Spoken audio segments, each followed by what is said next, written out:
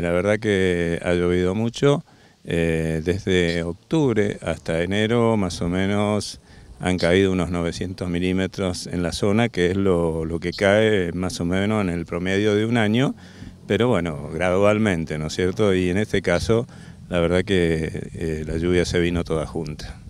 ¿Cómo es la situación actual de los, de los productores? Bueno, la situación actual de los productores de la zona de Montevideo eh, yo te voy a hablar de la cuenca nuestra que agarra eh, Inriville, Saladillo, Montevideo y Justiniano Pozzi. La zona más afectada es la que imprende el norte de Justiniano Pozzi y norte de Montevideo. Nuestra cuenca agrícola eh, consta de 144.000 hectáreas y bueno, en, una evaluación que hemos hecho visual, aérea y también por información de los productores, tenemos más o menos un 40% de esa zona muy pero muy afectada, casi diría 100%.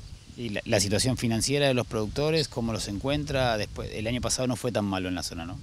No, eh, la zona nuestra no fue una zona eh, muy mala, a pesar de que fue un año muy seco, nosotros contábamos con reserva de agua de vertiente buena, la cosecha no te digo que fue óptima, pero eh, relativamente fue bastante buena en relación al resto de la provincia y otros lugares del país. Con lo cual financieramente los agarró bastante estables.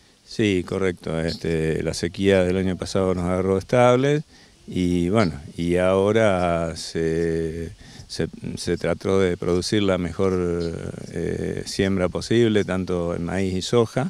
Acá en nuestra zona, calcularle de cosecha gruesa, más o menos un 25% de maíz y un 75% de soja y, y bueno, aquí se invierte fuerte para que el producto sea de buen rinde.